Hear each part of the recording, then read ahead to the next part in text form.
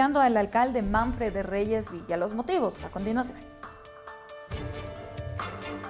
La mañana de este martes, funcionarios municipales realizaron una protesta al interior del Consejo Municipal contra los concejales del Movimiento al Socialismo. El representante de los trabajadores confirmó abandonaron sus funciones para intimidar a los legisladores. Estoy en hora de trabajo, pero mi reglamento interno me da dos horas libres para poder salir y poderlos emplazar y eso lo puedo demostrar aquí en el Consejo si es que pide.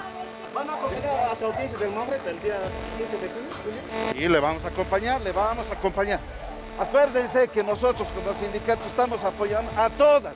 Al respecto, la concejal agredida Silvia Solís denunció que son enviados por el alcalde Manfred de Esvira como legisladores del municipio no dejarán de cumplir sus funciones.